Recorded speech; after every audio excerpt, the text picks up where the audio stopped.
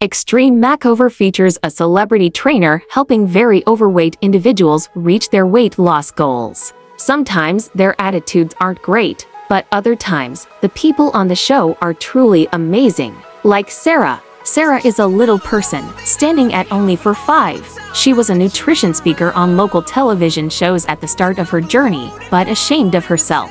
Not only had she spent her life dealing with her short stature, but she had suffered greatly at the hands of her sister. She turned to eating and by the time she was 37 years old, weighed over 200 pounds. When she began her time on Extreme Makeover, her first challenge was to climb the stairs of an amphitheater holding an 80 pounds weight. The stairs came up past her knees, but she didn't complain once. She kept going.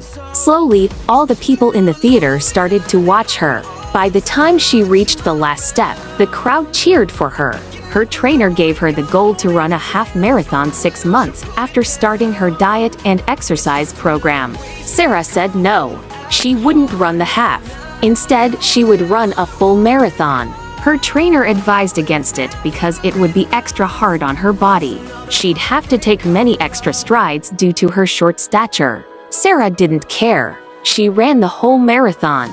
She succeeded in losing more than half her body weight and becoming a runner, like she had always dreamed.